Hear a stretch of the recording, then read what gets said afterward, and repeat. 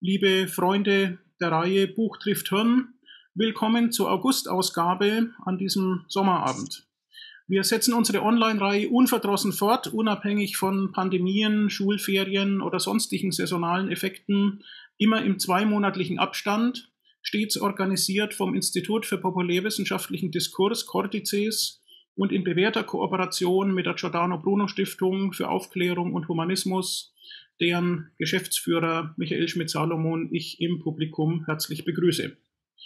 Unser heutiges Thema greift über das Zwiebelschalenmodell der persönlichen Identitäten von Familie, Heimatregion, Land und Kulturkreis hinaus und nimmt eine menschheitliche Perspektive ein oder genauer zwei menschheitliche Perspektiven.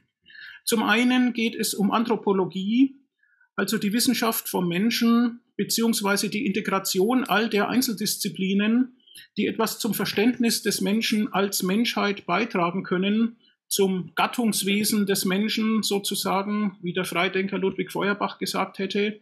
Das heißt zu dem, was wir gemeinsam haben, was uns verbindet. Die zweite menschheitliche Perspektive, um die es heute geht, wird seit etwa 20 Jahren mit dem schillernden Begriff des Anthropozän belegt. Hier geht es nicht um das Wesen, sondern um die Wirkung des Menschen, die Wirkung auf die Biosphäre, auf das Klima, auf die Ressourcen der Erde und womöglich, das wird zu diskutieren sein, auf die Geologie, das heißt die Erdgeschichte und ihre steinernen Ablagerungen. Anthropologie im Anthropozän heißt der Titel des heutigen Buches und ich begrüße in unserer Mitte seinen Autor, Professor Christoph Antweiler. Schönen guten Tag. Hallo. Christoph Antweiler ist Ethnologe und Professor für Südostasienwissenschaft an der Universität Bonn. Er studierte zunächst Geologie und Paläontologie mit Nebenfach Biologie, beschäftigte sich mit Evolution und wandte sich dann schwerpunktmäßig der Ethnologie zu, also der Erforschung gegenwärtiger menschlicher Lebensformen. Nunmehr wurde die kulturelle und soziale Evolution sein Arbeitsgebiet. Nach Promotion an der Universität zu Köln war er zehn Jahre lang an der Universität Trier tätig, bevor er im Jahr 2008 nach Bonn ging. Er ist Mitglied im Beirat der Giordano Bruno Stiftung. Als Buchveröffentlichungen Christoph Antweilers seien erwähnt Inclusive Humanism, Anthropological Basis for a Realistic Cosmopolitanism 2012 erschienen, interessanterweise in Taiwan.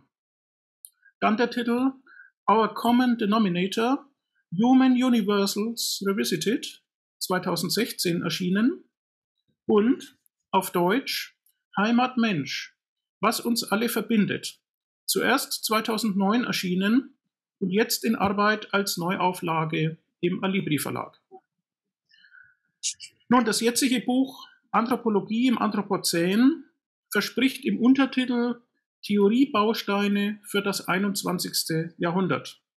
Es handelt sich um ein anspruchsvolles Lesebuch, das vielfältige naturwissenschaftliche Fakten mit kulturwissenschaftlichen Fragestellungen verbindet und dabei zur Methodenreflexion und differenzierter Zeitkritik anleitet und einlädt.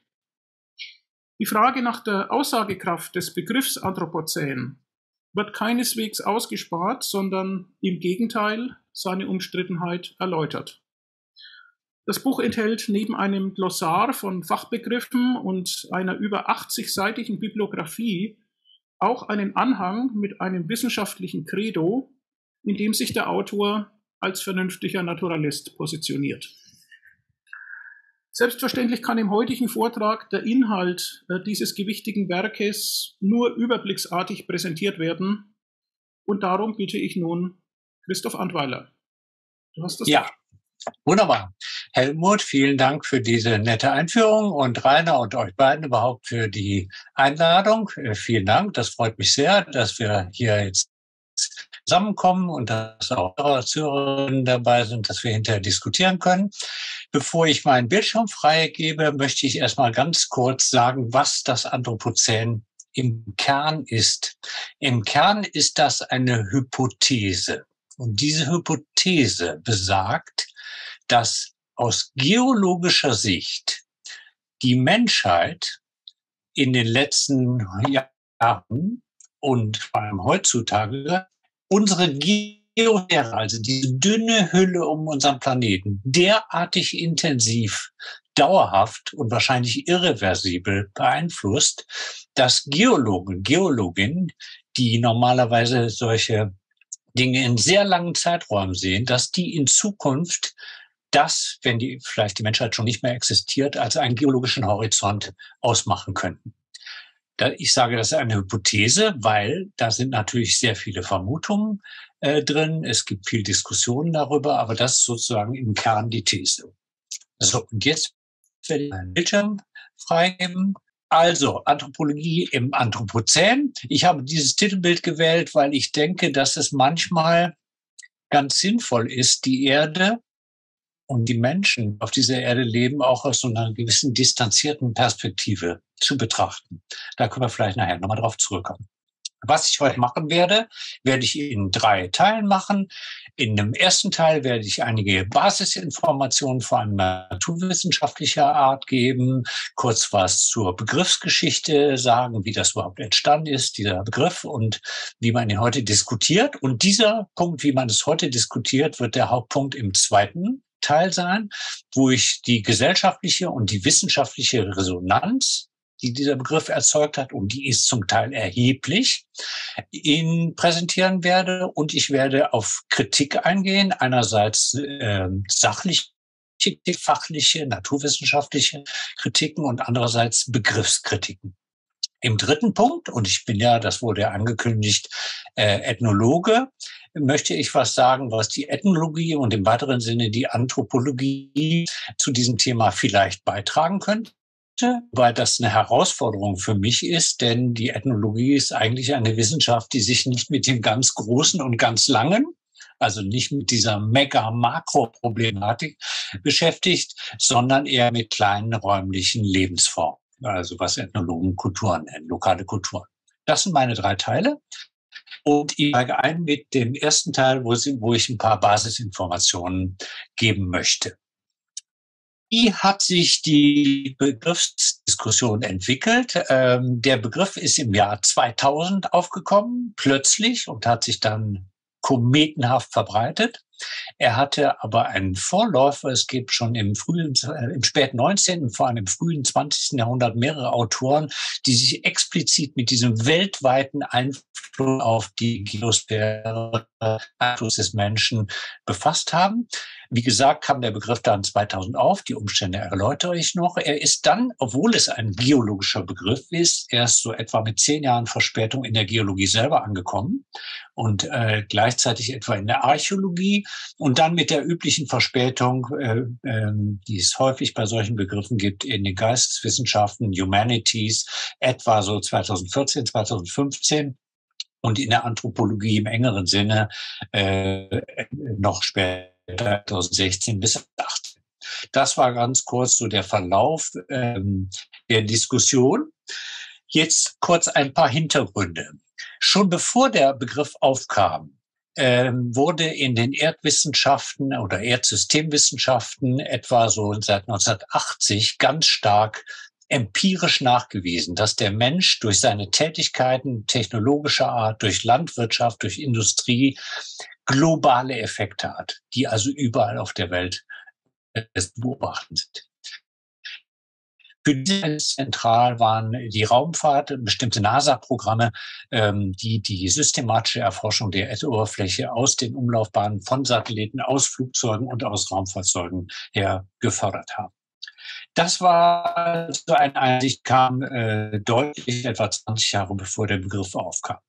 Ferner gab es die Einsicht vor allem in den unter Ökologen und Geographen und Geosystemmodellierern, dass die Geosphäre, dass die, die ein System in Lebewesen und nicht lebende Materie wie Steine ähm, in, in intensiver Zusammen, ähm, in intensiven Zusammenhang zusammen wirken und bewirkt werden, dass man also die Geosphäre als ein System auffassen sollte und nicht nur die einzelnen Subsysteme oder meinetwegen sogar nur einzelne Ökosysteme, sondern die Geosphäre als ein Gesamtsystem.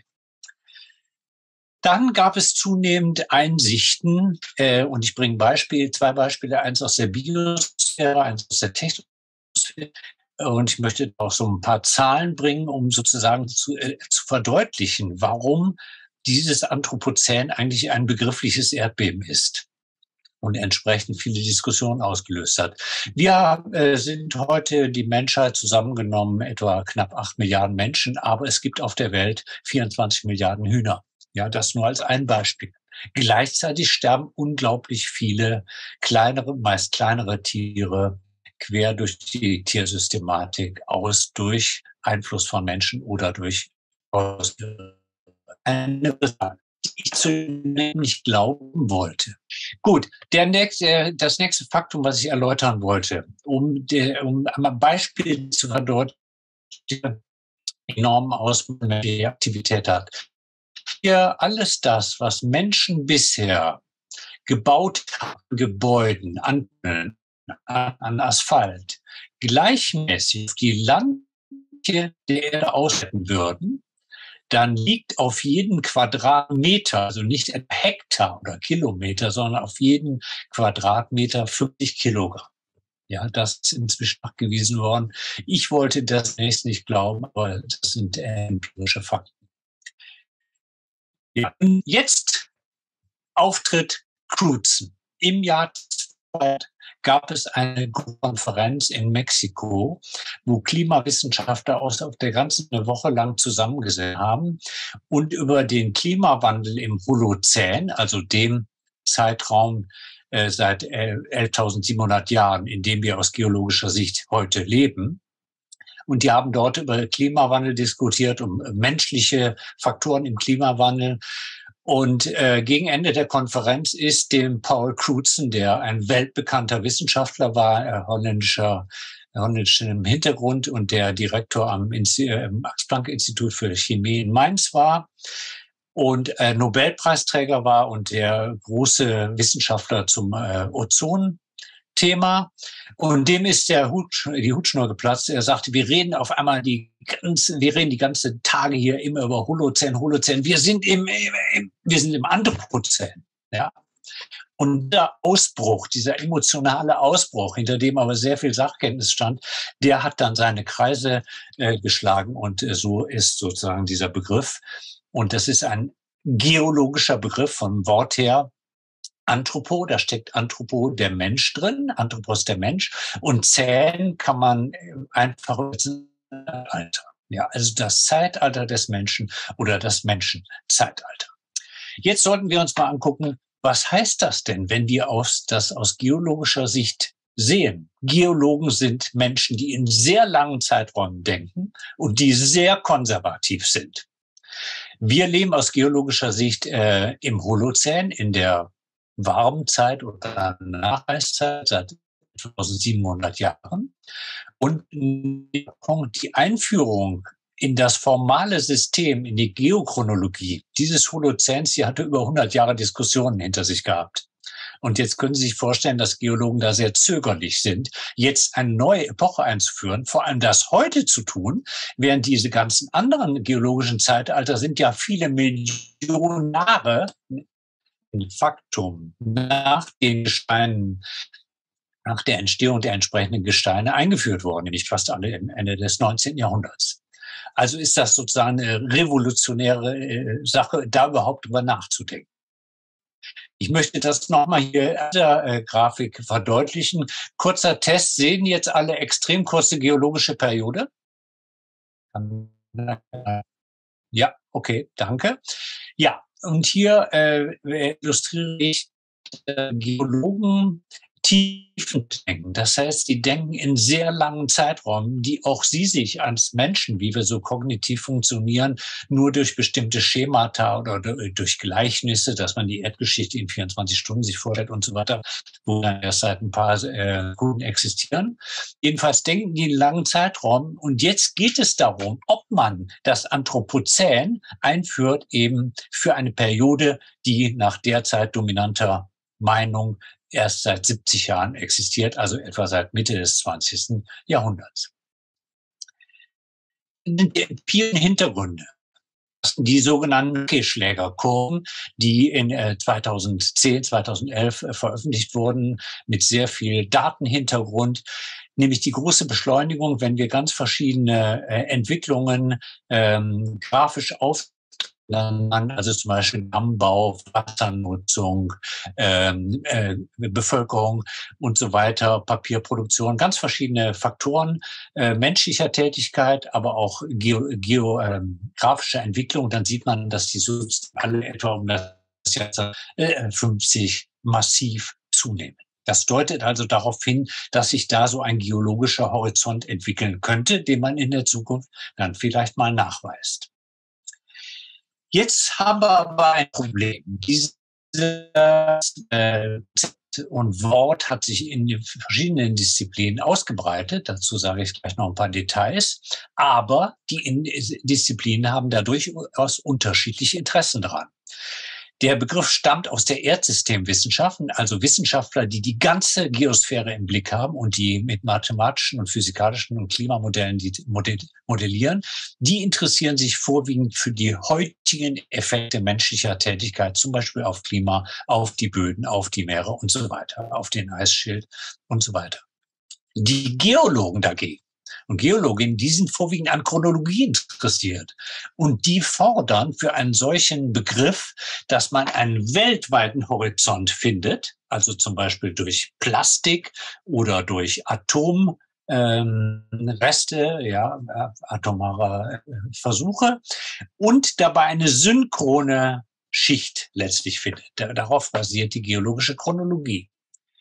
Wiederum andere Interessen haben Historiker und Archäologen. Die wollen herausfinden, wann haben denn solche anthropozänen Wirkungen in verschiedenen Orten und in verschiedenen Regionen auf diesem äh, Planeten eingesetzt. Und sie interessieren sich vor allem für die unterschiedlichen Ursachen.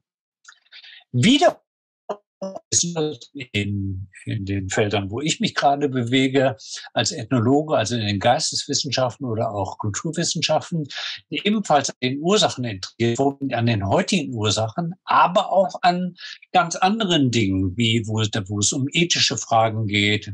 Es geht um Solidarität, Solidarität mit den letztlichsten Menschen, ähm, die äh, von diesen Wirkungen äh, betroffen sind oder ethische Fragen, ob wir zum Beispiel ethische Prinzipien auch auf nichtmenschliche Lebewesen ähm, anwenden.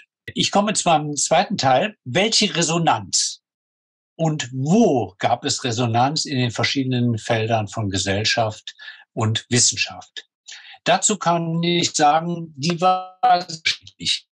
Medien, also Fernsehen und große Zeiten, gab und gibt es immer mal wieder eine deutlich starke Reaktion.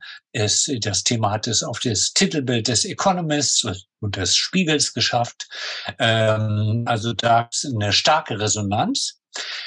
Hingegen bei Laien, also in der breiten Bevölkerung, hat der Begriff kaum einen Niederschlag gefunden. Und das kann man nicht nur für den deutschen Zeitraum, äh, für den deutschen Raum sagen, sondern auch international.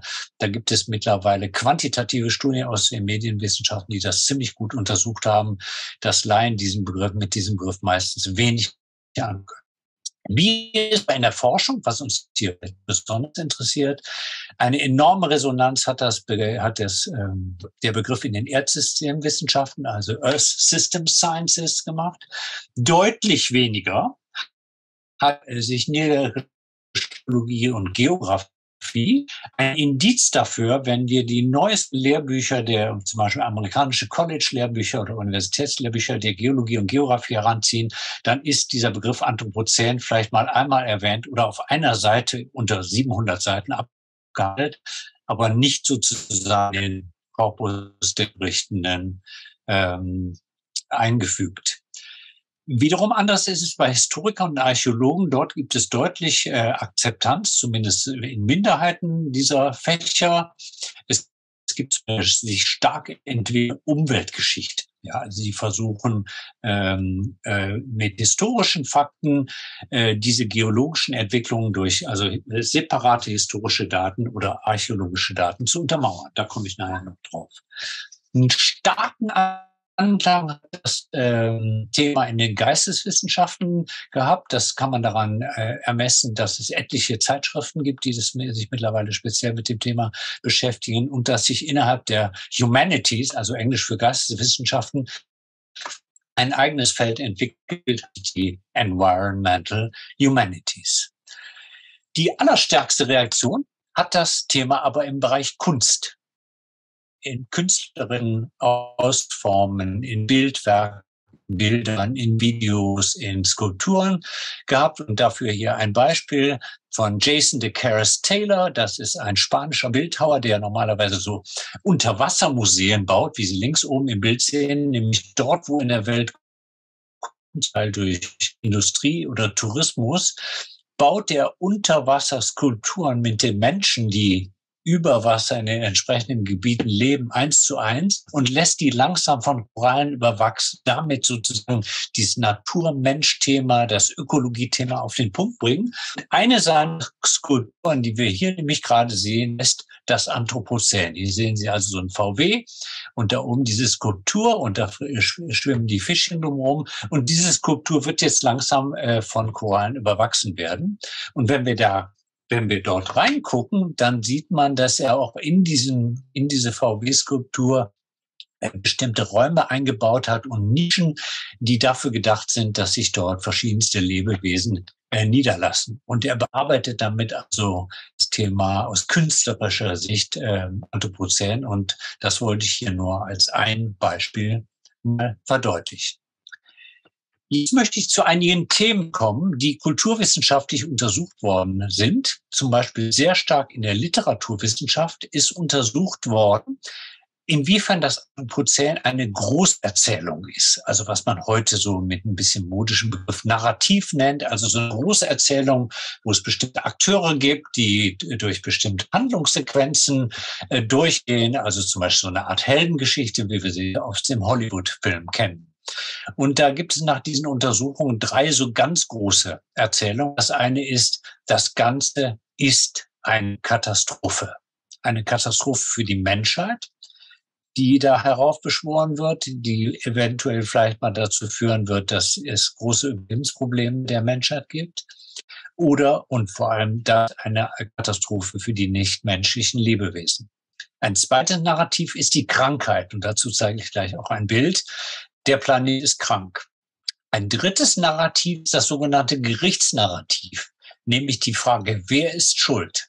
Sind es die bösen kapitalistischen Staaten? Sind es die Industriestaaten? Oder sind es im Grunde genommen fast alle Menschen auf dieser Welt, wenn aber vielleicht auch mehr unterschiedlichen Anteilen? Ich habe hier noch aufgezählt, dass es durchaus noch andere Narrative gibt, die äh, ich jetzt nicht im Detail äh, verfolge. Aber das ist sozusagen ein richtig eigenes Forschungsfeld. Da gab es auch ein DFG-Projekt zu. Ein zentrales Thema ist und dreht sich um eine ganz grundsätzliche Frage. Nicht für was für eine Idee soll das eigentlich stehen? Ist das Ganze wirklich ein primär geowissenschaftliches und biowissenschaftliches Konzept? Oder ist es eigentlich vor allem ein politischer Alarmruf, der uns aufrütteln soll? Ist es ein Epochenkonzept, vielleicht nicht nur für die Geologie, sondern vielleicht sogar eher für die Geschichtswissenschaften? Ist es ein Konzept, was so eine Schwelle markiert, also einen nicht gleichmäßigen Wandel, sondern einen plötzlichen Wandel? Oder ist es vielleicht nur ein neues Konzept für die Philosophiegeschichte? Oder, und das ist ein tatsächliches Problem, was ich sehe, weil es ist tatsächlich oft nur ein Schlagwort. Es gibt noch für etwa 50 andere Versuche, das zu bestimmen, worin eigentlich der Kern von diesem Konzept liegt, aus kulturwissenschaftlicher und geisteswissenschaftlicher Sicht. Jetzt zeige ich Ihnen mal den berühmtesten Cartoon zu dem Thema. Und der illustriert dieses Krankheitsnarrativ. Ja, zwei Planeten begegnen sich. Ich habe Homo sapiens. Keine Angst, das geht vorüber. Ja.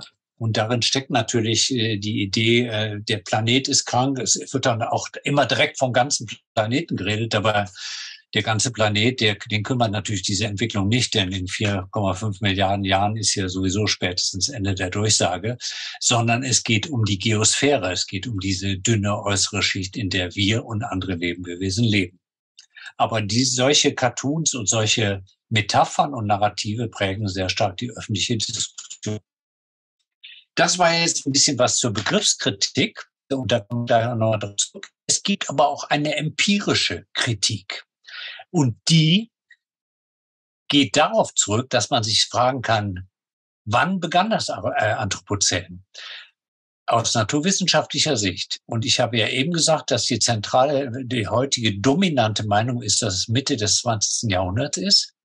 Die Idee von Paul Crutzen selber war eine andere, nämlich etwa das Jahr 1800, Stichwort Industrialisierung, Dampfmaschine, Entwicklung mechanischer Verfahren, frühe Industrialisierung und ihre Umweltschäden. Das ist also, dann müsste man vielleicht etwas Jahr 1750, 1780 oder 1800 nehmen. Andere Autoren wiederum haben argumentiert, dass die zentralen anthropozänen Wirkungen, wenn auch weit, so aber mit der Kolonialzeit begonnen. Also mit diesem internen Austausch auch zwischen verschiedenen Kulturpflanzen, zwischen den äh, Kontinenten und äh, der Dezimierung der indianischen Bevölkerung, der extremen Dezimierung in Südamerika zum Beispiel. Und noch weiter zurück gehen Archäologen. Und das ist dieses Bild. Und die sprechen vom Early Anthropocene, weil wir nämlich zeigen können, dass die Einflüsse auf die Weltatmosphäre also Beispiel jetzt Klimawandel, durch großflächigen Nassreisanbau im südlichen China und nördlichen Südostasien maßen groß waren, dass heute Geologen argumentieren, dass eine auf, aufgrund von Modellrechnungen damals zu erwartende Eiszeit leicht verschoben wurde. Aufgrund von geologischen Daten. Und wenn sich das manifestiert, dann müssen wir vielleicht wirklich sagen, dass man vom frühen Anthropozän redet. Das Problem ist aber, dass diese Wirkungen wahrscheinlich doch nicht weltweit waren und dem, in demzufolge dem engen geologischen Kriterium eines weltweiten gleichzeitigen Horizontes, den man in der Zukunft finden würde, nicht entsprechen würde. Das war also kurz zur empirischen Kritik. Der Hintergrund vieler empirischer Diskussionen ist, dass Geologen und Nicht-Geologen unterschiedliche Vorstellungen davon haben, wie man Erdgeschichte eigentlich Geschichte über. Die Geologen fordern synchrone und weltweite Grenzen und die legen die auch standardmäßig fest mit sogenannten Golden Spikes, die an bestimmten Typuslokalitäten tatsächlich in so einen Aufschluss reingekloppt werden, ja, den Sie hier im Bild sehen. Historiker und Archäologen dagegen setzen Zeitgrenzen, zum Beispiel zwischen Eisenzeit, Bronzezeit und Steinzeit, an verschiedenen Orten der Welt zu unterschiedlichen Zeiten an. Wenn also die Steineuropa zu einem bestimmten Zeitpunkt beginnt, dann beginnt sie in Nordamerika oder besonders äh, meinetwegen in Asien oder in Polynesien zu anderen Zeiten. Die sind Historiker und Archäologen sind also eher an lokalen und regionalen Zeitgrenzen interessiert. Und da gibt's auch viele Missverständnisse. Der nächste Punkt ist, und das ist wiederum eine empirische Kritik, die meisten geophysikalischen, geologischen, biologischen Daten, die hinter der Anthropozänforschung stehen, kommen aus dem amerikanischen Raum, vor allem aus dem nordamerikanischen Raum und etwas aus dem europäischen Raum.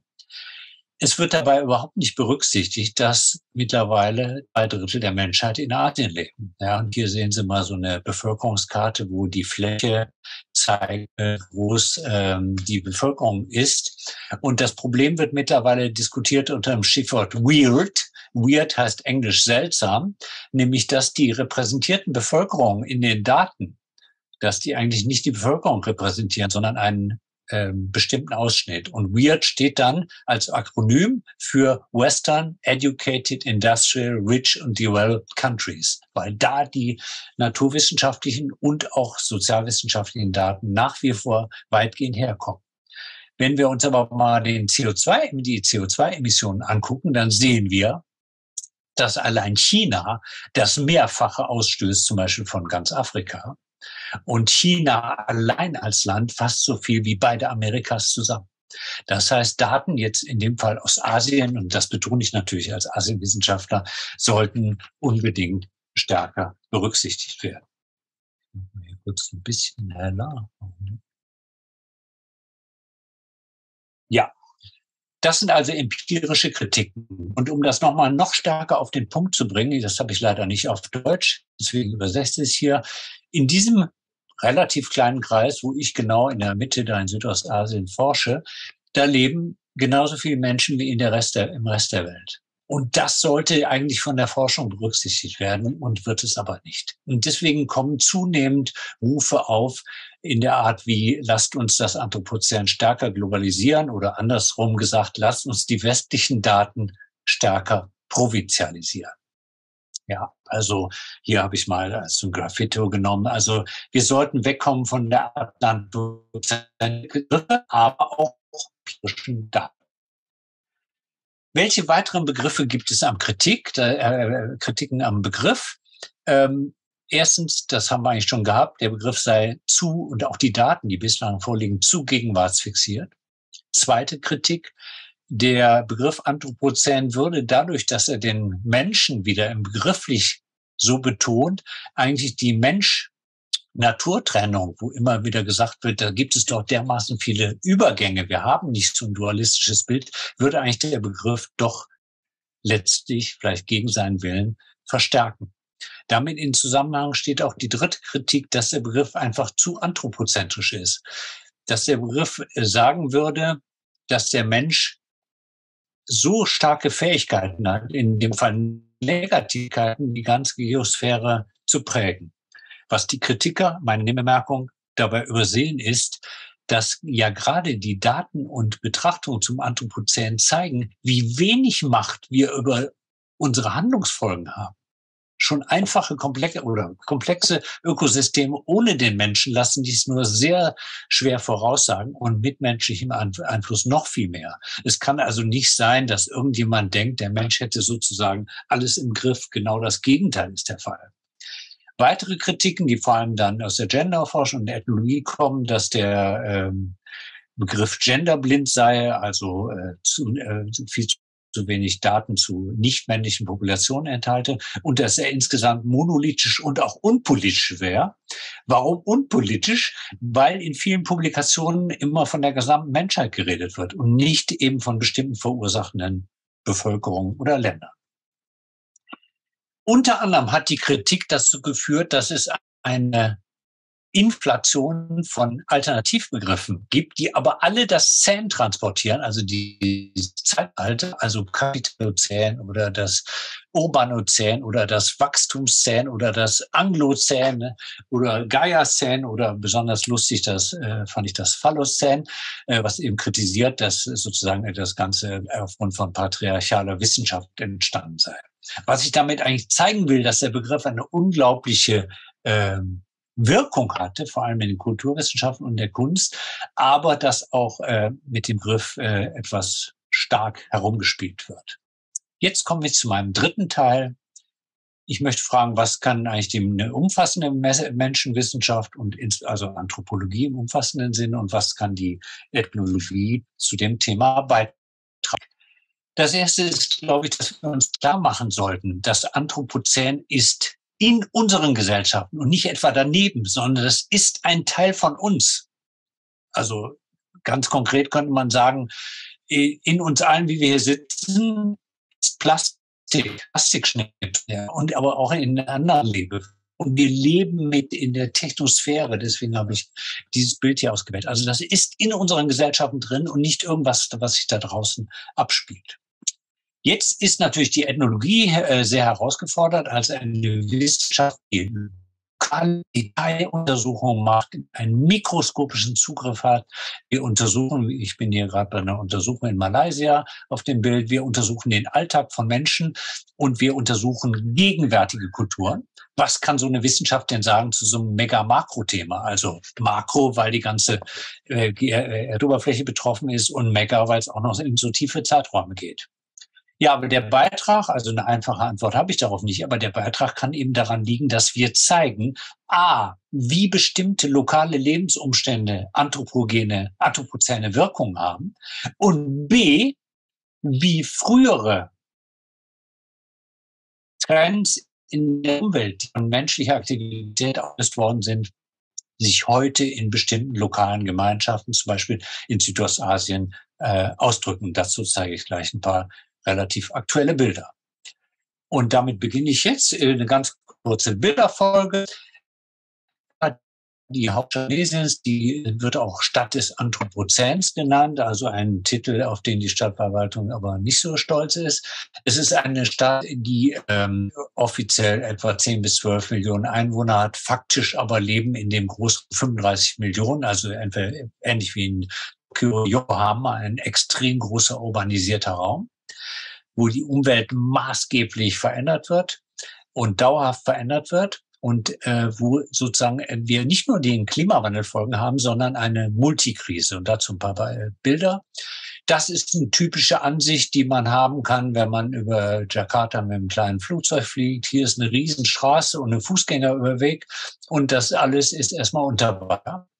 Und das natürlich für die Bevölkerung, die zum Teil daran gewöhnt ist, aber hat eben, und das kommt jedes Jahr, man weiß nicht genau wann, aber jedes Jahr gibt es mehrere solche Ereignisse. Und dann müssen eben zum Beispiel solche äh, Fahrer wie hier, der was Kleines, so ein kleines Snacks verkauft, müssen damit irgendwie umgehen. Oder die Eltern müssen ihre Kinder zur Schule bringen. Und es gibt jede Menge Probleme.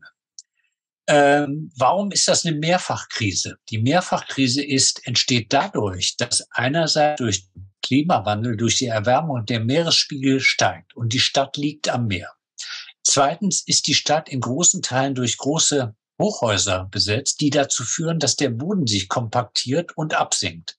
Drittens ist es eine sehr konsumorientierte Stadt mit vielen Millionen Menschen und die pumpen das Wasser ab, so dass sich der Boden kompaktiert durch Grundwasserentnahme. Und das alles zusammen führt dazu, dass diese Stadt eben im Jahr mehrmals überschwemmt ist wie sehr viele andere Städte in Südostasien auch.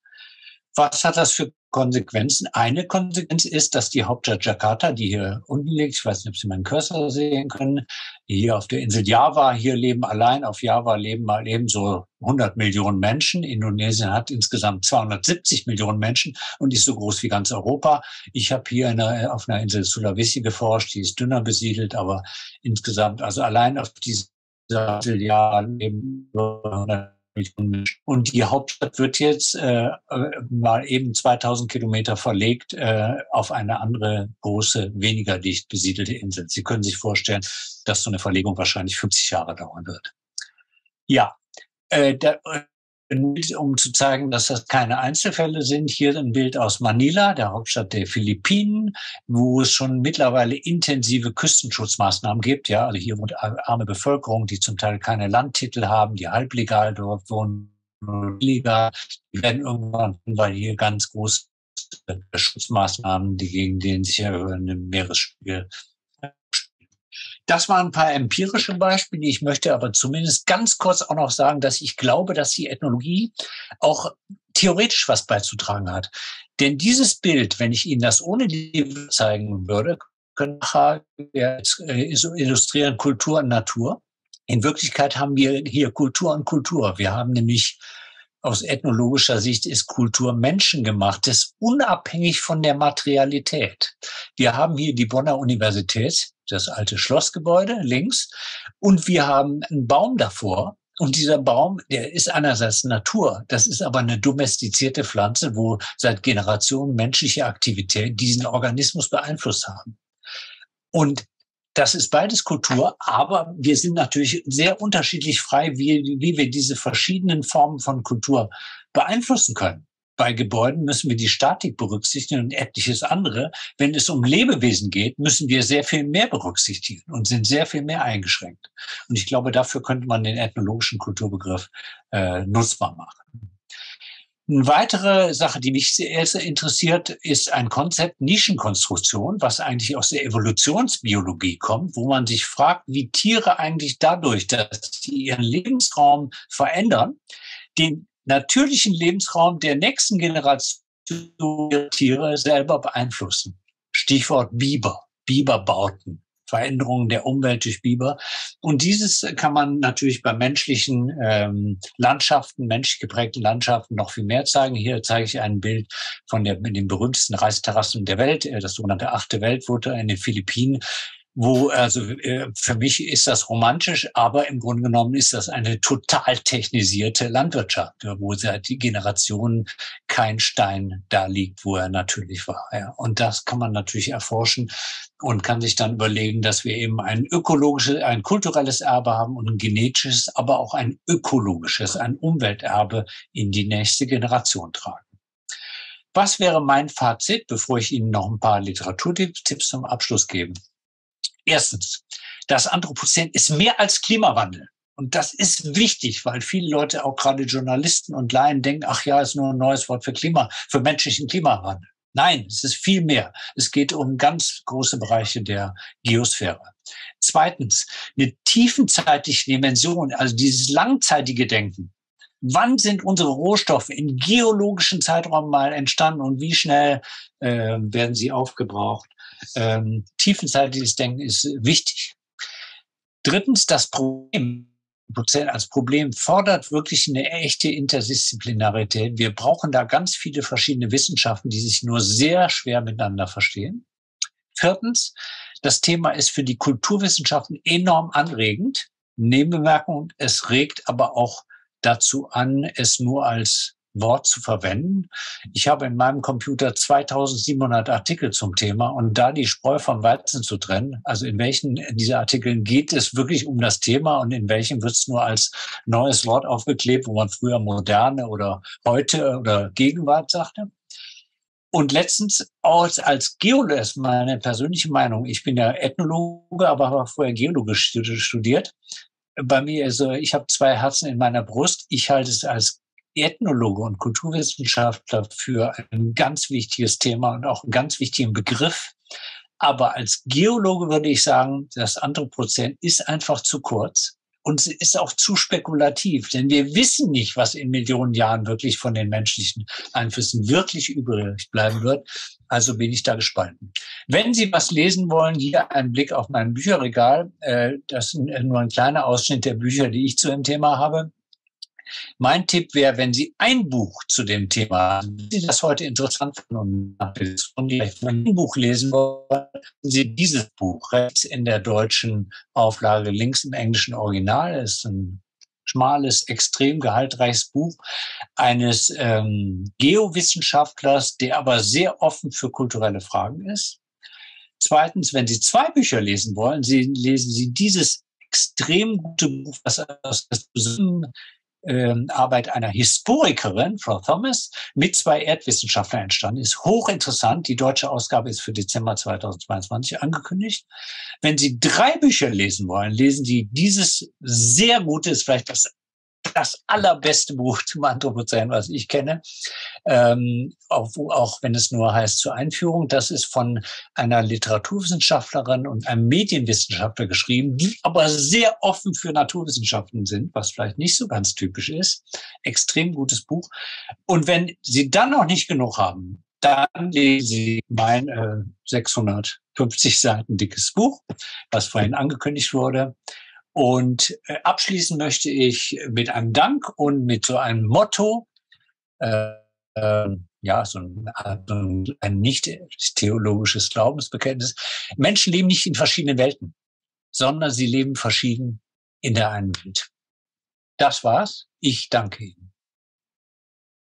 Ja, und. Ja, herzlichen Dank, Christoph, für den schönen ähm, Überblick.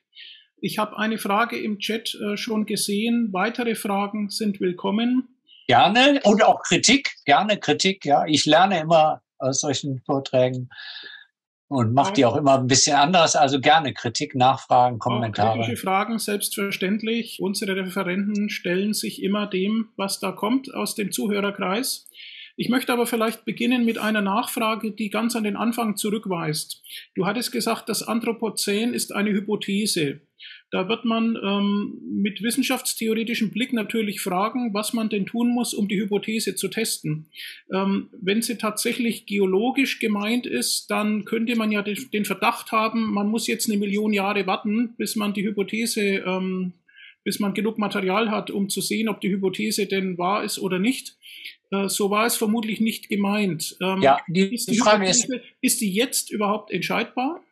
Ähm, ich würde sagen, im engsten Sinne ist sie wirklich erst in ferner Zukunft entscheidbar. Aber Geologen sind im Augenblick unterwegs weltweit und wollen versuchen, wichtige Punkte der Welt zu finden, wo man diesen weltweiten Einfluss doch jetzt schon zeigen kann. Und das geschieht zum Beispiel durch Radionuklide, die man in Eiskernen findet.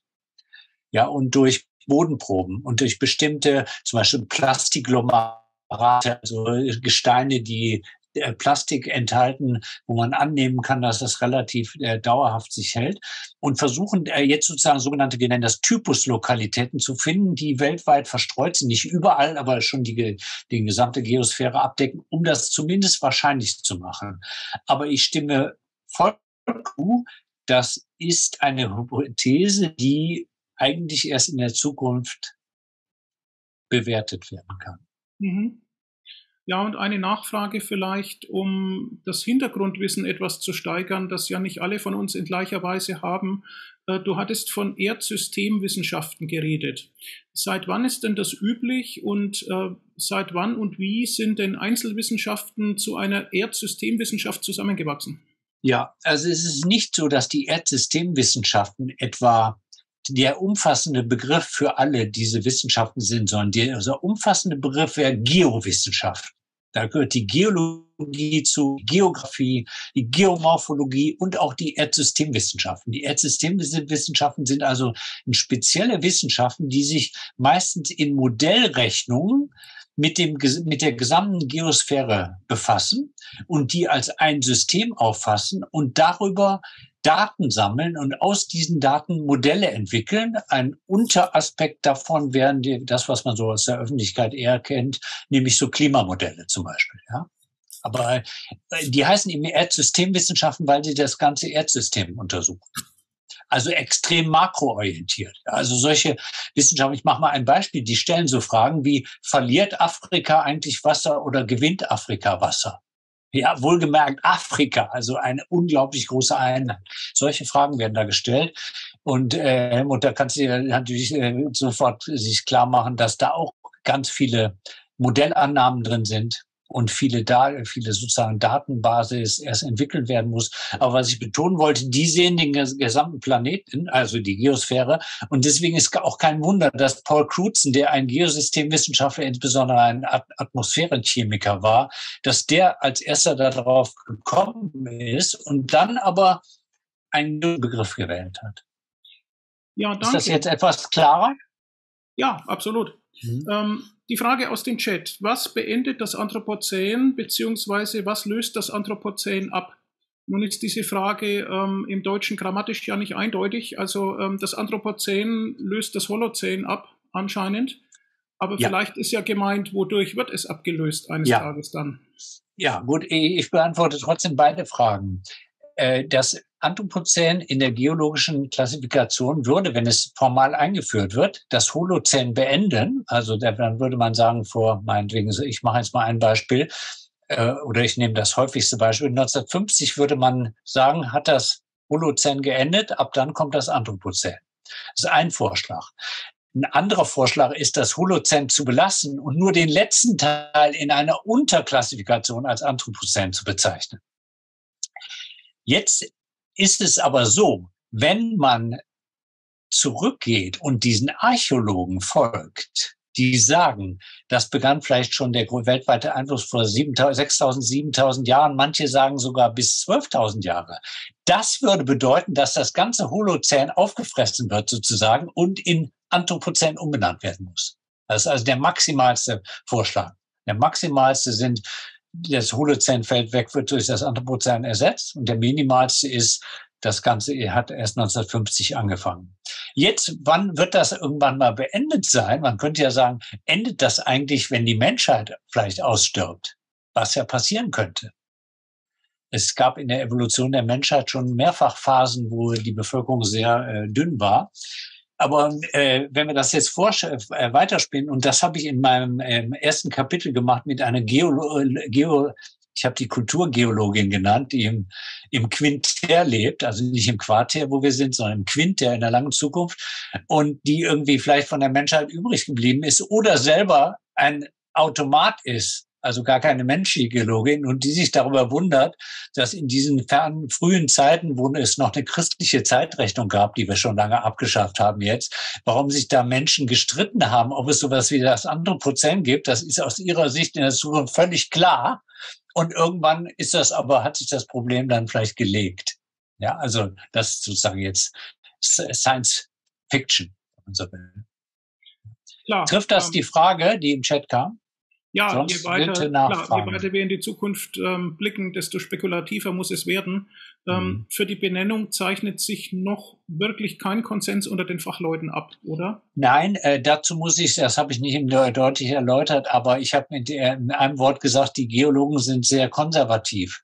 Es gibt da eine Anthropocene Working Group. Das ist eine Untergruppe in der großen stratigraphischen sozusagen Weltgesellschaft und die beschäftigen sich seit 2009 damit. Und die haben in einer Zwischenentscheidung mit nur von 35 Leuten, glaube ich, nur zwei Gegenstimmen vorgeschlagen, dass die Oberorganisation das formal einführt. Das ist aber immer noch nicht geschehen und wird immer weiter rausgeschoben.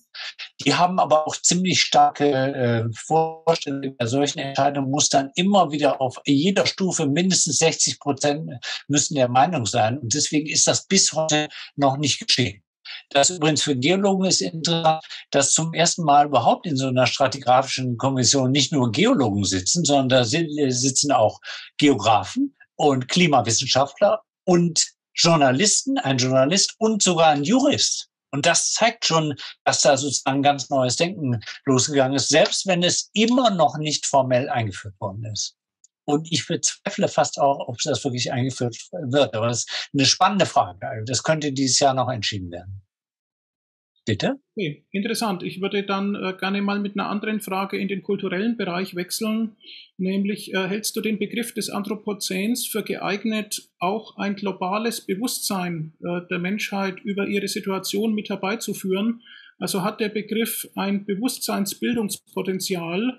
Ähm, untersucht die Kulturanthropologie so etwas? Und ähm, man muss ja dann fragen, ist dieser Begriff ähm, wirklich schon weltweit verbreitet? Oder wäre es eine ja. Aufgabe, ihn weltweit äh, zu verbreiten? Ja, ganz klar, ich sehe das so, er ist verbreitet nur in bestimmten Wissenschaften, wie ich gezeigt habe, und in, manchmal in den Medien, aber nicht in der breiten Öffentlichkeit. Ich aber, das war die Eingangsfrage, da ein wirkliches Potenzial, wenn er mit, in, mit, mit wirklich diesen Inhalten gefüllt wird und wenn dieses Langzeitdenken, was sehr schwierig ist für Menschen, das wissen wir ja alle, äh, dort einbezogen wird, weil er nämlich auch dann eine langfristige Politik betonen würde. Also wenn wir zum Beispiel von Bildung für nachhaltige Entwicklung denken, was ja zum Teil in unseren Schulen gibt, da müsste dann eben eine Bildung für eine viel nachhaltigere Entwicklung viel länger. Bei nachhaltiger Entwicklung geht ja eigentlich meistens nur um die nächste Generation, ja, in dem Konzept der Nachhaltigkeit. Wir brauchen ein viel längeres Konzept in die Zukunft und auch ein historisches Begreifen viel längerer Vergangenheiten weil viele dieser Prozesse sind schon vor äh, Hunderten von Jahren äh, losgegangen.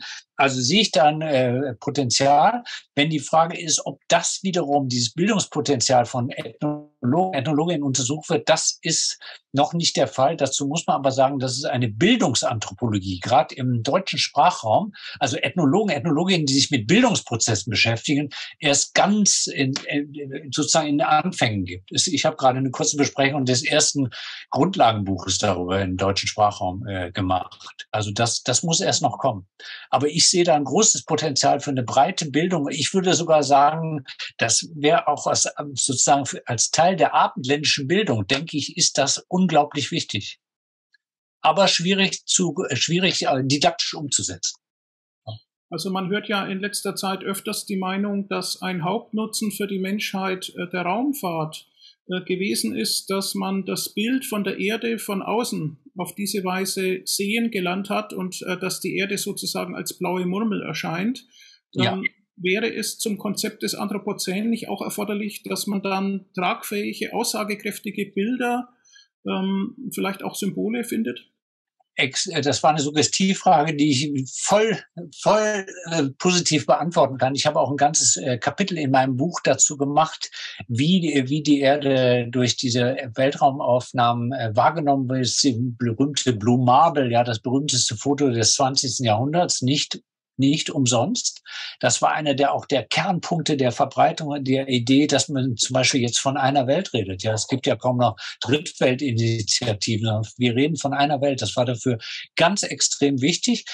Das Interessante ist, wenn man aber nochmal drüber nachdenkt, man sieht in diesen Fotos ja, äh, da gibt's ja, manche sind sogar da religiös äh, sozusagen beeinflusst worden, aber man sieht, wie allein wir sozusagen im Kosmos sind und wie wir auf diese Erde angewiesen sind und dass das sozusagen ein Makroorganismus ist, deswegen auch diese Idee von Gaia oder Redeweise. Andererseits, wenn man diese Fotos sieht, wo man die ganze Erde sieht, sieht man diese desasterhaften Wirkungen des Menschen überhaupt nicht. So, und von da aus sieht alles easy aus. Aber wenn man dann mal ranzoomt, und ich kann nur empfehlen, gucken Sie Google Earth nicht nur Bilder an von diesem, unserem wunderbaren Planeten, kann man sagen, sondern gucken Sie sich auch mal an, mittlerweile gibt es bei Google, kann man sich äh, geschichtliche Aufnahmen zeigen. Also meinetwegen, Sie gucken sich das Mekong-Delta an vor 15 Jahren, vor 10 Jahren, vor 5 Jahren und heute.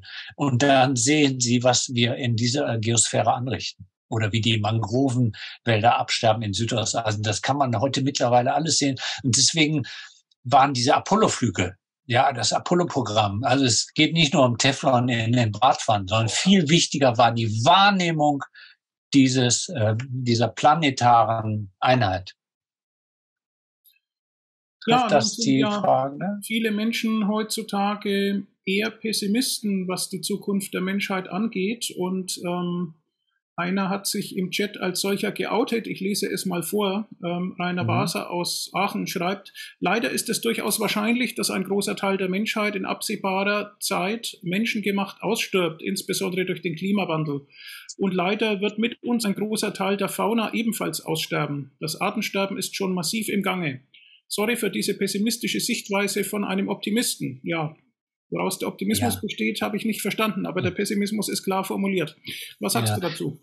Ja, das ist nicht einfach, denn auch in mir, ich bin da auch gespalten, kann das nicht ganz erklären. Wenn ich das rein sachlich sehe, bin ich auch sehr pessimistisch. Aber äh, so als äh, Temperamenthaltung äh, sehe, bin ich Optimist. Und vielleicht führt mich das dazu, dass ich da manchmal denke und auch äh, Sachen in die Richtung lese, dass es eben wir doch als Menschheit unglaublich anpassungsfähig sind. Und wenn wir das mal in langen Zeiträumen sehen, könnte es ja sein, dass äh, die Menschheit lebt großteils an Städten und leider liegen ein großer Teil der Städte lebt an Küsten, liegt an Küsten, dass wir einfach in historisch langzeitigen, aber geologisch extrem kurzen Zeitraum langsam uns von diesen Küsten zurückziehen. Und es wird natürlich, äh, es werden sehr viele ähm, Arten dadurch aussterben, noch mehr als heute durch diese menschlichen Einflüsse. Aber ähm, es wird für andere Arten auch neue Lebensmöglichkeiten geben. Und jetzt komme ich natürlich extrem ins Spekulieren, aber wenn Sie mich so nach einer gefühlten Meinung fragen, dann denke ich, dass vielleicht langfristig eine, keine echte Lösung, aber ein Ansatz einer Lösung sein könnte, dass wir Menschen uns in großen, dichten Städten zurückziehen. Denn dort kann man, wenn man auf den berechnet, am ökologisch sinnvollsten mit wenig, mit den wenigsten Folgewirkungen leben und dazwischen Räume sozusagen freilassen. Aber wir müssen natürlich den Energietransport und die Kommunikation zwischen diesen dichten Ballungsräumen, also ich, ich rede jetzt von, ich denke an ganz dichte Ballungsräume, wie wir es zum Beispiel heute in Teilen Chinas haben oder in Hongkong zum Beispiel, wo es nicht Hochhäuser gibt, die irgendwie 100 äh, Meter hoch sind, sondern die sind 400 äh, Meter hoch oder in Zukunft ein Kilometer hoch. Ja schon das erste Haus der Welt, das ein Kilometer hoch ist. Und so dicht aufeinander leben, dass wir diese äh, Ökowirkung äh, begre räumlich begrenzen können. Das bringt natürlich dann erstmal die Frage, wollen wir Menschen in solchen Umständen leben, aber vielleicht müssen wir es. Und wir müssen natürlich auch Verzicht üben. Ja, also mit dem Konsummuster, äh, was wir heute haben, ist das alles nicht vereinbar. Und ich glaube, dass da sozusagen das Anthropozän so eine richtige, ähm, ja, man sollte keine Angst machen, aber dass man sozusagen datenbasiert sagt, wir müssen unsere äh, Wirtschaftssysteme ändern und natürlich auch die Politik. Also zum Beispiel mit einer Politik, wo wir alle fünf Jahre neue Leute an der Regierung haben, ist das äh, natürlich da schwer durchsetzbar. Ja, also es sind ja ähm, Fragen aus einem weiten Feld angesprochen bis hin zum Wirtschaftssystem. Ähm, ich weiß nicht, ob wir uns heute darüber verständigen können. Mir ist eine andere Bemerkung aufgefallen, nämlich der Rückzug von den Küsten. Ähm, bin ich zu sehr in einer traditionellen Denkweise verhaftet, wenn ich davon ausgehe, dass man zuerst den Küstenschutz optimieren wird, bevor man sich von den Küsten zurückzieht? Ja, das ist derzeit der Fall. Und da habe ich auch selber Bildbeispiele gezeigt. Manila, Jakarta und so weiter. Ich glaube aber, dass das eine zu kurzfristige Lösung ist. Ja, und man sieht schon jetzt, dass diese Hilfsmaßnahmen, die, diese Baumaßnahmen dort gemacht werden, dass die, äh, wenn man so sozioökonomisch quer durch die Schichten und Klassen guckt, dass im Grunde genommen nur ein Teil der Bevölkerung da wirklich von profitiert. Und ich glaube, es sind überhaupt nur kurze Lösungen, sondern wenn der, wenn das mit dem Meeresspiegel wirklich weiter so angeht, dann muss man eben, dann reicht nicht so eine Mauer oder so ein Hochwasserschutz, sondern da muss man wirklich deutlich, vor allem bei Landschaften, die so ein extrem geringes Gefälle haben, dass sie praktisch alle auf Normalnull sind. Ja, also der ganze Raum in Jakarta, der ist immer nur ein paar Meter über dem Meeresspiegel. Oder denken Sie an Bangladesch, das ist ein äh, Land, was fast jedes Jahr zu über 70 Prozent überschwemmt wird, weil da eben, weil das so flach liegt. Äh, für das sind solche reinen Küstenbaumaßnahmen keine Lösung. Also auch auf Stelzenbauten oder was es da so alles gibt, das ist, das sozusagen jetzt äh, geschichtlich gesehen sind das nur Kurzfristlösungen. Da, da werden wir in 50 Jahren nicht mit hinkommen. Ja, schade. Es wäre, wäre schön gewesen. mich jetzt? Ja, Herr Wörser, wir hören Sie jetzt. Jawohl, bitte Vielen Dank. Ähm, ja, ich wollte äh, nur ein paar kurze Anmerkungen machen. Also zunächst mal äh, habe ich mich als Optimisten bezeichnet, weil ich mein Leben lang immer Optimist war und wahrscheinlich es auch bleiben werde. So, sagen wir mal, realistischer Optimist, jetzt nicht beliebig. Ähm, erste Anmerkung. Zweite Anmerkung. Ich bin persönlich absolut gegen Hochhäuser. Ich hasse die Dinger ich leben, ich will die nicht sehen. Ähm, die Lösung der Probleme, die leider ja auch nicht angegangen wird, ähm, darin zu sehen, dass zu viele Leute auf unserem Planet, Planeten, ich habe ja Moment, Moment, ja. Da ist irgendwas knattert. Ja, das war ein Teilnehmer, ist unterdessen stumm geschaltet. Okay, gut. Jetzt ähm, geht's. Also äh, meiner Ansicht nach, äh, was überhaupt nicht thematisiert worden ist, die Anzahl der Personen auf dem Planeten. Ja, vor als ich geboren worden bin, gab es drei Milliarden, was auch schon eine ganze Menge ist. Jetzt gibt's fast acht Milliarden. Also ja, da kann man sich ja. leicht ausrechnen, dass, dass das natürlich mit dem Konsum, ich meine, das wollen natürlich auch alle, ähm, sagen wir mal, früher hat man gesagt, Entwicklungsländer auch sozusagen auf den westlichen Standard kommen im Konsum. Diese Kombination ist tödlich für den Planeten. Ja, also, ich glaube aber, das wird nicht das Hauptproblem sein, denn ja, äh, die, die, die, das wird sich abflachen.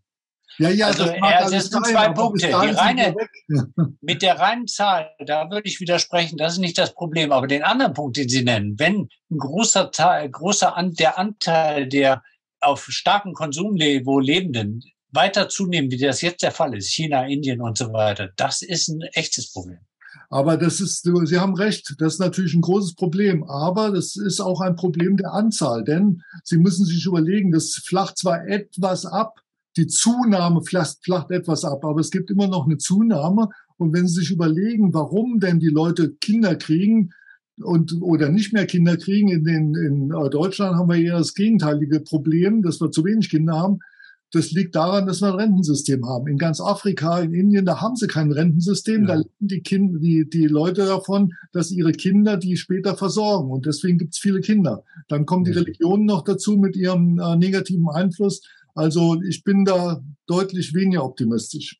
Ja. Ja, also äh, ich bin bei dem äh, Thema jetzt auch nicht so ein Spezialist, aber es gibt ernsthafte Leute, also nicht sozusagen einfach nur von der Kanzel oder Wunschdenken, sondern die sagen, dass äh, durchaus die, die Menschheit äh, 10 Millionen, äh, 10 Milliarden Menschheit, äh, die Erde 10 Milliarden Menschen ernähren könnte. Ja, ja, klar. Wenn man äh, die äh, Agrarsysteme effizienter macht und die Verteilung und eben Gerechtigkeitsprinzipien. Wahrscheinlich könnte man sogar 15 Milliarden ernähren, insbesondere dann, wenn alle nur noch äh, Algen essen. Aber will das jemand? Ich meine, warum, was ist der Sinn hinter der gesamten, dem gesamten Bevölkerungswachstum? Das ist doch totaler Unsinn. Ja, aber Herr, Herr, Herr Waser, würde ich Ihnen zustimmen. Aber wenn Sie auch bei den Hochhäusern sagen, wer will das? Äh, wenn man doch ein bisschen historisch längeren Blick hat, äh, meinen Sie denn nicht, dass Menschen sich nicht jetzt individuell, sondern über die Generation an sowas gewöhnen können? Also ich werde mich jedenfalls nicht mehr dran gewöhnen. Ja gut, aber Sie werden ja jetzt auch nicht eine Milliarden Jahre alt, ja. Also. Nee, nee wahrscheinlich nicht, ja. okay, ich sehe eine Wortmeldung unseres Teilnehmers Volker Mitschke.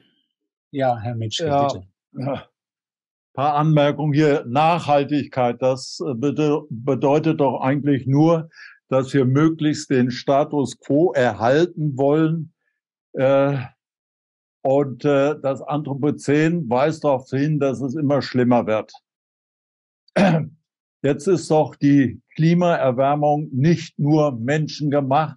Wenn man den Kosmologen, Astronomen ja, glauben will, dann ist der Klimarhythmus in den letzten ein Million Jahren, Kaltzeiten, Warmzeiten, Eiszeiten, dann sind wir ja jetzt gerade in einer Warmzeit, heißt es, glaube ich.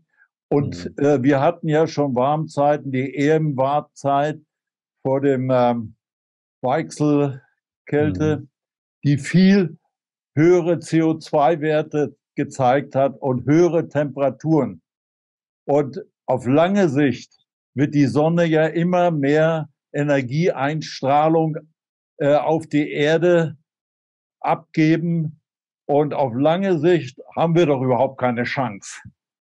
Irgendwann. Auf sehr lange Sicht, ja. Auf sehr lange Sicht. Also ich empfehle schon noch weiterhin für die Altersversorgung zu arbeiten, ne? aber auf lange Sicht äh, haben wir überhaupt keine Chance. Es wird immer wärmer werden auf der Erde. Und unsere Bemühungen sind in meinen Augen ja nur dazu da, äh, etwas die Sache zu verzögern, so dass wir uns und unsere Mitlebewesen äh, anpassen können. Das ist vielleicht die Chance, wenn wir jetzt so krampfhaft das CO2-Problem äh, da angehen, dass wir vielleicht mehr äh, Zeit haben, uns anzupassen. Aber es wird wärmer werden. Na, da können wir machen, ja. was wir wollen.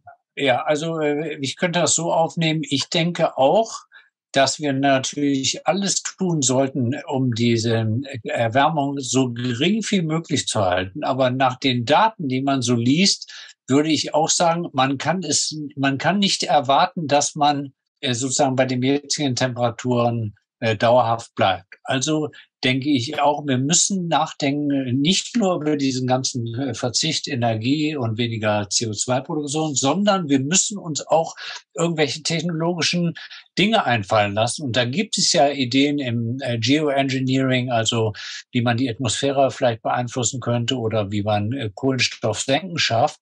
Das Problem ist nur, dass manche dieser Ideen äh, riskant sind. Und wir wissen nicht, äh, wir wissen eben nicht genau, wenn man die großflächig einsetzt, wo das hinführt. Es für, äh, der, das Problem ist, dass ich zum Beispiel bei meinen Kollegen in den Kulturwissenschaften sehe, dass wenn die nur das Wort Geoengineering hören, dann kommt direkt ja, Technologien, technologische Naivität, der Mensch macht sich zum Meister über die Natur und das sollen wir alles, das ist was ganz Schlimmes. Da war der Paul Crutzen, der das Ganze äh, Konzept ja aufgebracht hat, hat selber und schon in dem ersten Artikel gesagt, nee, im ersten nicht, aber im späteren Artikel gesagt, dass so ein Geoengineering würde denkbar sein oder sollte denkbar sein, wenn alle anderen Mittel vorher ausgeschöpft sind. Und äh, bezüglich der Erderwärmung scheinen ja die politischen Mittel fast ausgeschöpft zu sein, denn es bewegt sich wenig hin auf eine weltweite Einigkeit. Mhm. Also ich denke, die Probleme, die mit der Klimakrise zusammenhängen, sind global und groß und vehement genug, äh, dass uns alle echten Lösungen recht sein sollten. Und wenn ja. es technologische Lösungen sind, dann sind es eben technologische Lösungen. Mhm. Ähm, oder? Ja, würde ich auch so sehen. Natürlich ist es klar, wenn man das großflächig mit dem Klima sozusagen spielt und das so ein hyperkomplexes Ursachenfeld ist, dann kann man natürlich auch Fehler machen. Ja, aber vielleicht gibt es keine Alternative dazu. Ja. Und wo ich völlig ratlos bin, da muss ich auch nochmal betonen, wie man das Ganze angesichts der, der, jetzigen politischen Verhältnisse durchsetzen kann. Also ich meine jetzt nicht die globalen äh, Machtblöcke, äh, China, USA und äh, Russland, sondern ich meine die typischen politischen Systeme, die auf Kurzfristigkeit angelegt sind. Mhm. Okay. Es gibt eine Frage unseres Teilnehmers Gerhard M. Ich habe äh, wiederholt die Applaushand gesehen, aber es sollte offenbar die Meldehand sein.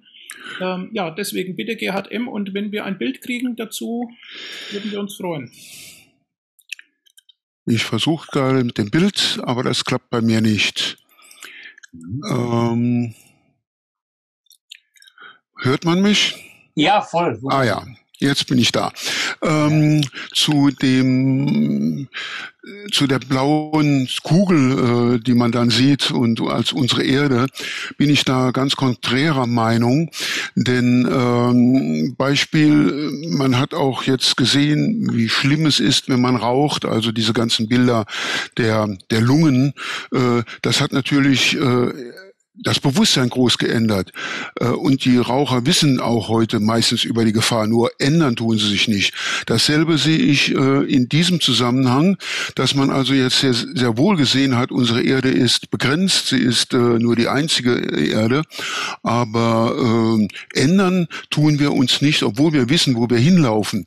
Ähm, Beispiel, was ein politisches No-Go ist und was kaum ein Wissenschaftler erzählt, ist nicht nur, dass die Umweltressourcen äh, äh, verbraten werden, also letztendlich dadurch auch äh, das CO2 und und und und und, sondern ähm, dass äh, es äh, auch mit der oder fast nur mit der Überbevölkerung zusammenhängt. In dem Zusammenhang äh, dieser Rainer äh, Reinhard Klingholz hat mal ein Buch geschrieben, äh, zu viel für diese Welt. Ein, ein hochinteressantes Buch, wo er die Überbevölkerung auch sagt. Er sagt also, um äh, das zu stoppen, überhaupt diese, dieses ganze äh, ja, System, wo wir jetzt, äh, dass er überhitzt wird, äh, ist, wenn, dass wir die dritte äh, Welt auch äh, dahin bringen, dass sie mehr ähm, ja, Wohlstand hat. Äh, nur durch Wohlstand äh, werden die Kinderzahlen auch zum Beispiel zurückgesetzt. Ähm, das ist also etwas, was ich äh, selbst äh, dann in den, in den Schwanz beißt. Die, die, äh ja, da würde ich Ihnen zustimmen, weil äh, der Wohlstand fördert die, geringere Bevölkerung. Gleichzeitig geht er einher mit Konsumniveausteigerung. Ja? Mhm. Und die haben natürlich diese schlimmen Effekte. Also ähm, also in, äh, vielleicht zwei Punkte. Oder hatte ich Sie abgebrochen? Wollte Sie noch was sagen? Nein, nein.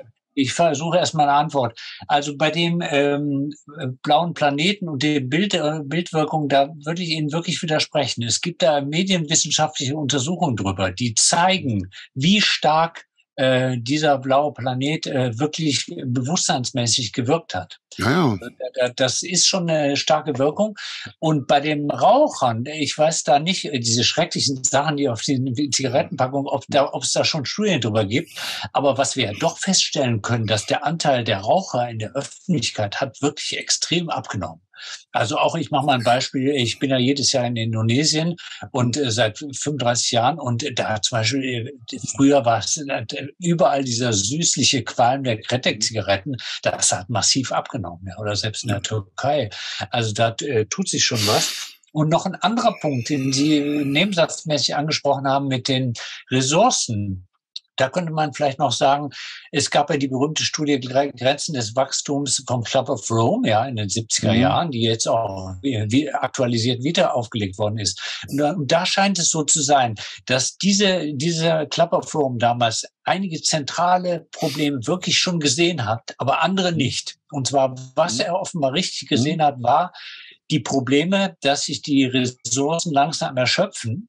Was sie mhm. aber nicht gesehen haben, dass das offenbar oder was die Wirklichkeit gezeigt hat, sie erschöpfen sich eigentlich zu langsam, um daraus zu lernen.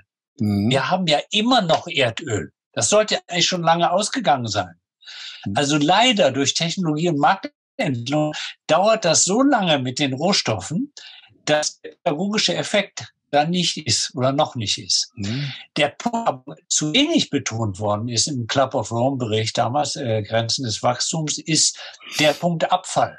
Abfall und Abfallwirkung. Also gar nicht so sehr die Ressourcen, sondern das, was wir durch unsere Abfälle in, in, in unseren in Industrieprodukten und so weiter äh, hinterlassen und was sich auf die Umwelt auswirkt. Ich mache Ihnen mal ein Beispiel. Ich sitze ja hier in Köln, im Kölner Umland aber überall sonst in Deutschland auch, gibt es viele neue Siedlungen, neue Häuser, die alle schön umweltgerecht sind, ja, energiesparen, umweltgerecht. In diesen Häusern sind ganz viele Stoffe verbaut, wo kein Mensch weiß, wie in 50 oder 70 Jahren, das ist so eine typische Zeit, wann so, wie lange so Häuser halten, wo die mal entsorgt werden sollen. Mhm. Das ist überhaupt nicht in den Berechnungen drin. Ja. ja, ich muss Ihnen recht geben. Also eine Änderung bei den Rauchern ist Erfolg.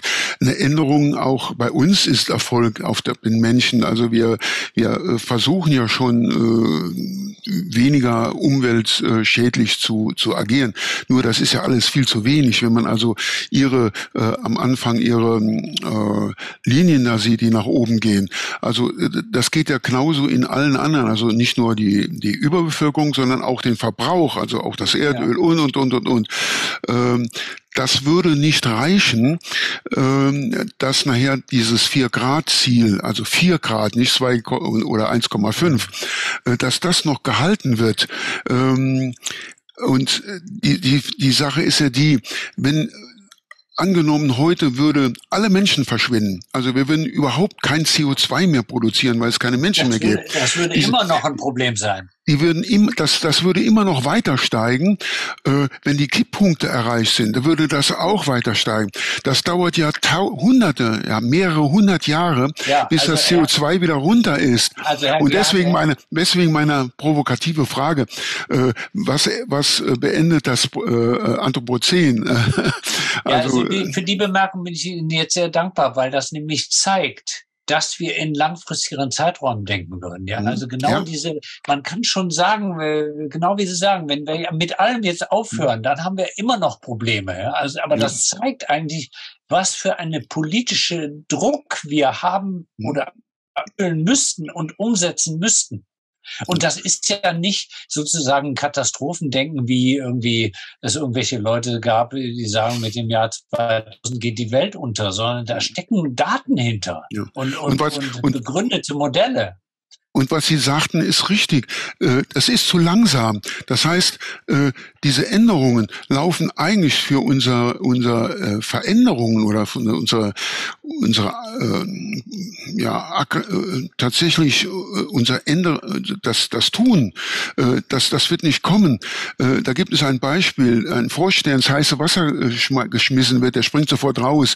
Ein Frosch, den man ins kalte Wasser setzt und das langsam erhitzt, der wird gekocht, ohne dass er rausspringt. Mhm. Und das, das dürfte hier bei uns auch sein. Es wird also zu spät sein. Und dann noch den letzten Punkt. Sie sagten, äh, Sie haben das so schön gebracht von der, äh, von, von dem Kultur und von der einerseits und von dem, ähm, ähm, von der Natur. Also ein, der Biber, der würde zum Beispiel sagen, sein Bau, das ist Kultur. Mhm. Ja, denn er hat es ja verändert. Die, äh, und wenn man sagt, Mensch, die Menschen sind nichts anderes als Lebewesen und auch ein Teil der Natur, dann ist das, was die Menschen machen, auch äh, nur Natur. Und man darf also Natur und Kultur äh, nicht als zwei verschiedene Sachen sehen, sondern ja. Kultur ist ein, ein, eine, eine Art des Menschen, eine Naturbegebenheit oder ein Narrativ der Menschen, wenn man so will. Aber ja, nichts, nichts was anderes äh, oder nicht ein Gegensatz zur Natur. Ja, würde ich Ihnen auch zustimmen, dass übrigens auch eine der Hauptmotive dieser Kulturwissenschaftler, die jetzt immer so reden, meinetwegen von more than human, also mehr als das mhm. Menschliche, ja, dass man auch nicht menschliche und, und die ganze Zusammenhänge betonen, nur ist da das Problem, ich würde Ihnen da zustimmen aus einer materialistischen Sicht, dass wir das sozusagen als ein System sehen würden. Aber es gibt auch viele, die sozusagen jetzt eine eine eher esoterische Sicht da einbringen. Und das wiederum bringt ein Problem, dass man nämlich sich dann oft nicht mehr mit diesen naturwissenschaftlichen Hintergrundfakten auseinandersetzt. Ja.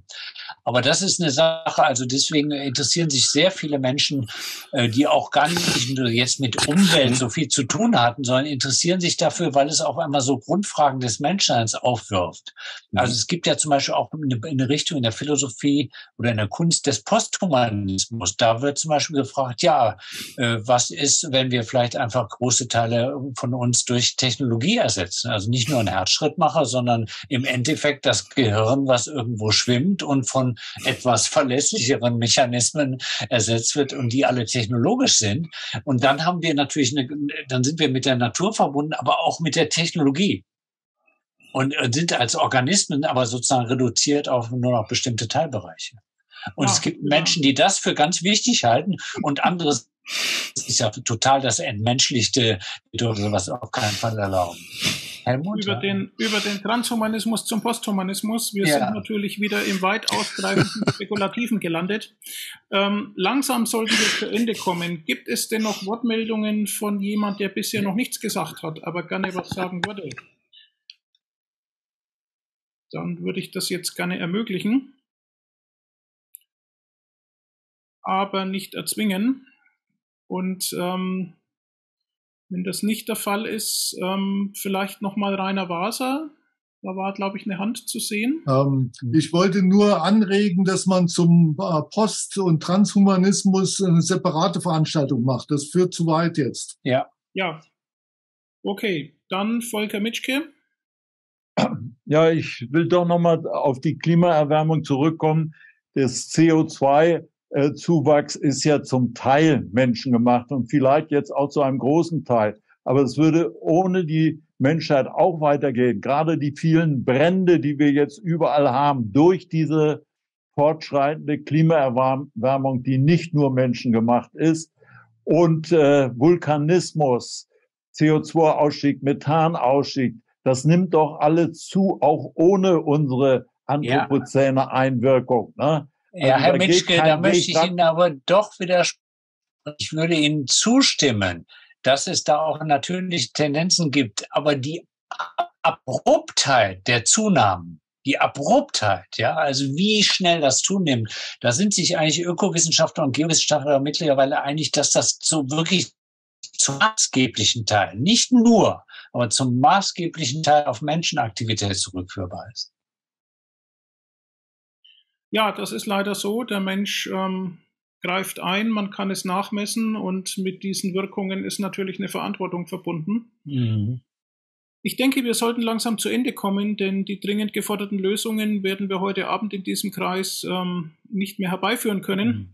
Ich kann nur hoffen. Vielleicht nur noch, noch eine. Bemerkung, wo man ja. mal drüber nachdenken könnte. Mir ist aufgefallen in der Literatur, gerade in der kulturwissenschaftlichen, dass die nicht nur so dystopisch häufig ist, also negative Utopien, sondern auch ein oft negatives Menschenbild hat. In der Art, ja, wenn es den Menschen nicht gegeben hätte, wäre alles kein Problem. Und dem kann ich irgendwie nicht so ganz folgen, denn Menschen haben ja auch die Idee, dass das ein Problem ist, aufgebracht. Und Menschen sind auf die Idee gekommen, dass wir vielleicht andere Arten schützen sollten. Also man müsste auch mal überlegen, was alles menschlich möglich ist und nicht nur auf das Negative sehen. Äh, diese negative Sicht, die gibt es zum Beispiel auch sehr stark in Betrachtungen jetzt zur Weltgeschichte, ähm, wo, wo immer angenommen wird, alles wird immer schlimmer. Wir könnten mal so äh, Publikationen wie lesen, wie zum Beispiel von Steven Pinker, aber auch anderen, auch Historikern, die zeigen, wie sich die menschliche Situation verbessert hat. Heute gibt es fast nicht mehr Menschen auf der Welt, die nicht zumindest ein bis zwei Jahre auf Schulen gegangen sind. Das war noch vor 30 Jahren ganz anders. Da war das im Bereich 20, 30 Prozent oder so. Also es hat sich viel getan. Ich wollte nur einfach, einfach mal sagen, das bringt mich zu einem doch gewissen Optimismus. Ja, vielen Und Dank. Äh, vielen Dank für diese ähm, ja, Schlussbemerkung schon, für diesen menschheitsfreundlichen Ausblick. In der Tat äh, muss der Mensch kein Schädling sein. Er kann auch ein Nützling sein auf der Erde. Und ähm, ich teile auch die Hoffnung, dass die Zeitkonstanten der Probleme vielleicht doch so sind, dass es gerade noch gelingen kann, rechtzeitig Lösungen zu finden.